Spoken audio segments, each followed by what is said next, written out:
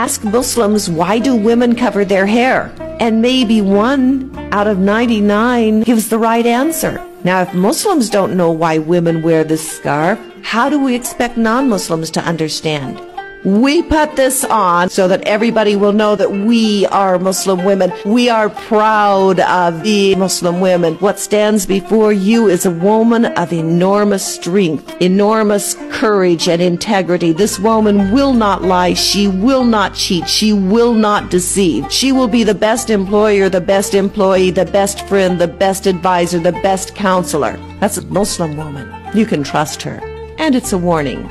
It tells to everybody what stands before you is a woman who knows her worth. She knows her value. She is not a toy. So don't even try to play with her.